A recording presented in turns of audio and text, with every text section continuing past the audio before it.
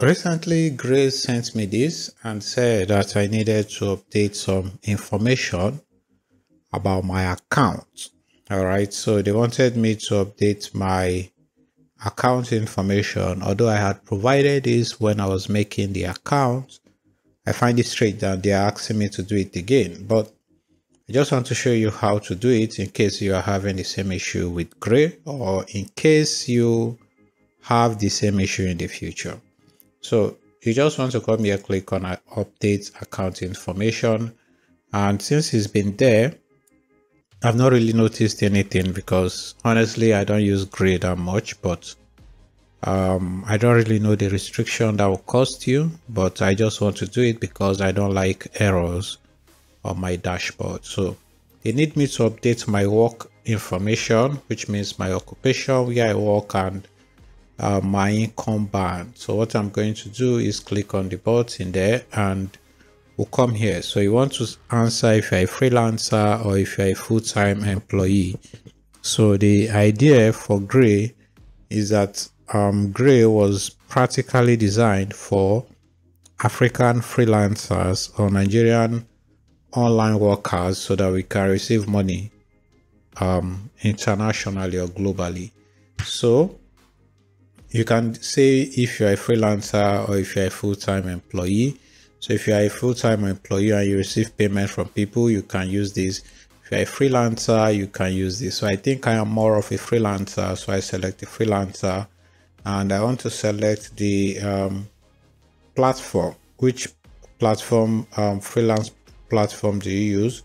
So you come to the platform, you see different ones. We have Amazon KDP, which is not really a freelancing um, website, but they just put everything together. So you might want to come here.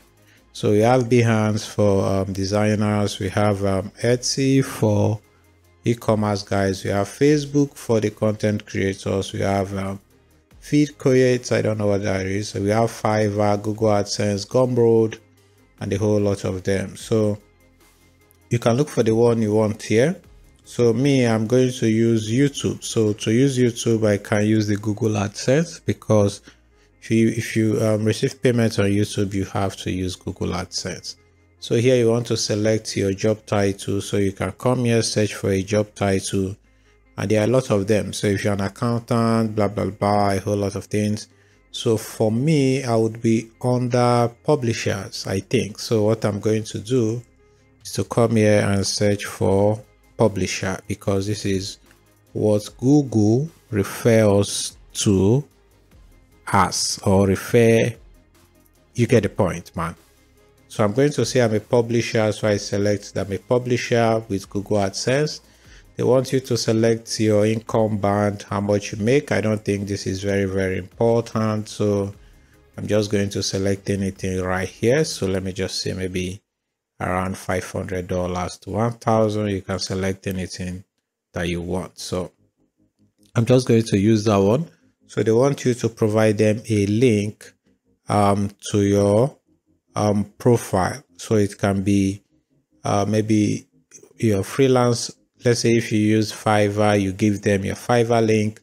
If you say you get job on linkedin you give them your linkedin link if you say you are using YouTube like me, you have to give them your YouTube link and all of that. So I'm just going to go to YouTube and get my YouTube link and I'm going to give it to them. So now I've copied my um, YouTube link and I can put it right here. So um, this is one of my YouTube channels. So I have a couple of them in case the link is different from what you are watching this video on.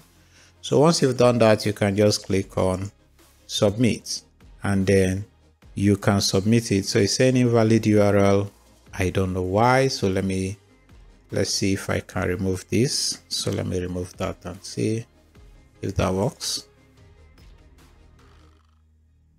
Again it says invalid url so that doesn't work. So what i'm going to do is just to give them my linkedin profile because i also have a linkedin profile. So let me go to my youtube and I should be able to get my LinkedIn from here. So I'm going to put my LinkedIn um, link here and hopefully that works now. So I click on submit and that has worked so it says my job information has been completed and i think that um, issue should be sorted now so if they do not sort it i will need to message support because i can. So you can just come here click on this and you can message the support. But let me go to the home page and see if the um, error is still there.